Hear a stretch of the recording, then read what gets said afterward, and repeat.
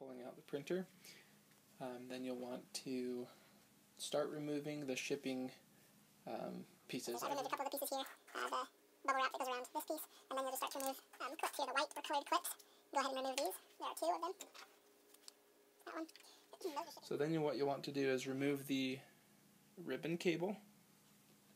It's uh, just tucked down inside here. Then you want to remove all the tape, etc.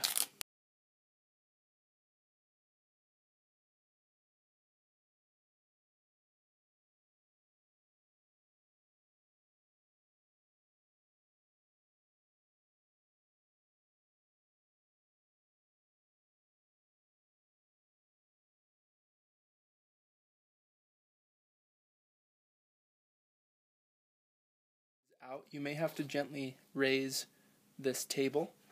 You would do so by holding it the back and, and raising gently. On the That'll allow you to remove this piece. This piece of styrofoam contains cord, the filament spool holder.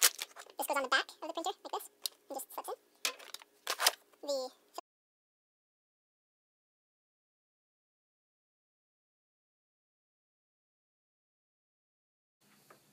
So for starters, let's plug in the extruder cable. You want to make sure that it sits flat against the back of the machine like this. Go ahead, make sure that all the pins are lined up and press down gently. Usually press from the back. We will go ahead and plug in the machine here with a tip.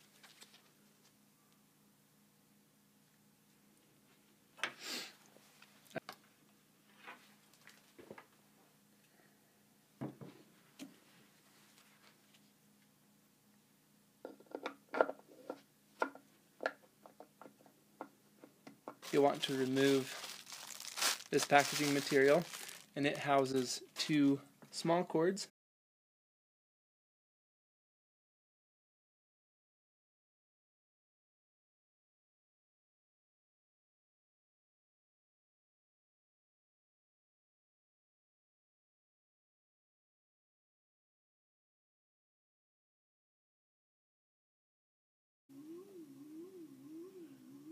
Make sure that you push at the very back so that you don't bend the piece of metal at the front.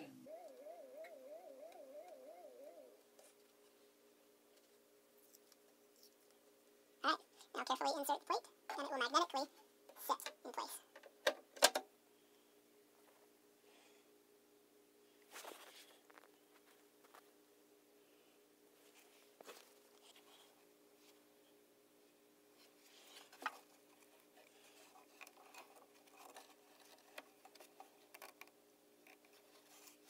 The clip faces up.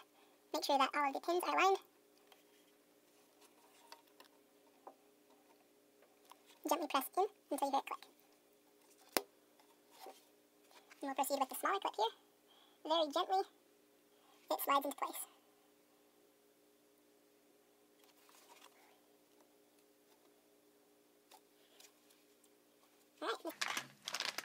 So here's the filament tube holder. It goes on the back of the machine in a vertical slot. Then we have the filament tube and it sits directly above in that um, in that bracket here.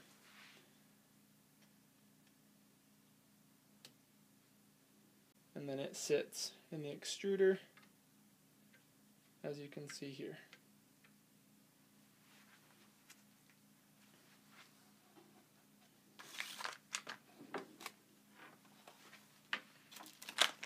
We'll go ahead and put on these sticky um, cable clamps here along the back to hold the extruder cable up.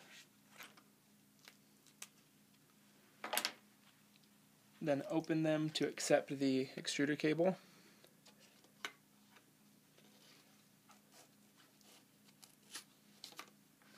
And click each one into place.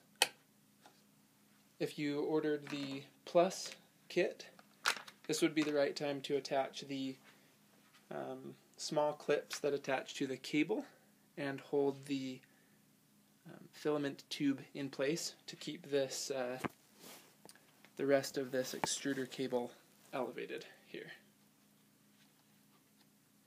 The plate comes leveled from the manufacturer, so you shouldn't have to worry about adjusting any of these knobs. Um, if you do find any trouble, there's a self, it's called an auto calibration leveling system here in the um, in the menu on screen. Hope you enjoyed watching this video. Good luck, and feel free to reach out to us with any other questions you may have about the setup of your M200.